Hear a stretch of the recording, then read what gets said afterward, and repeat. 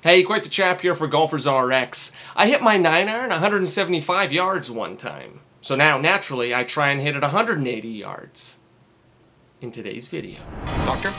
Doctor? Doctor? Doctor? Doctor. Doctor? Doctor? Saying that we hit the ball longer than we actually do is not a new issue. It's an issue that's been lingering for as long as egos have existed. Now, leaving the ball short of the green or short of the pin is not always a bad option.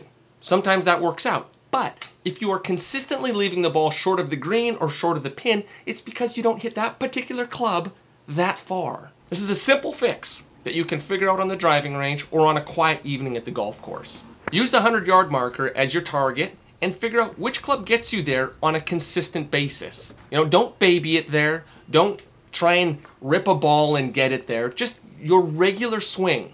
Where does it land around the 100 yard marker? With what club? Then do the same thing with the 150 yard marker. Then maybe up to the 200 yard marker. The 100 yard marker and the 150 yard marker, these two clubs alone will give you a better idea of how far you hit every other club. If you have access to a portable launch monitor, even better. Use it. It'll save you strokes. It's as simple as hitting the right club to the right distance. But you need to figure out what club gets you there consistently. Not that one time, but one that gets you there consistently on your good shots and even close on your bad shots. If you're liking these videos, if you're liking this quick short format, give us a thumbs up. Hit that subscribe button if you're not already subscribed to us on YouTube. If you're not subscribed to us at golfersrx.com, visit our website, sign up to our newsletter, get these tips emailed to you directly, and leave us a comment in the comment section.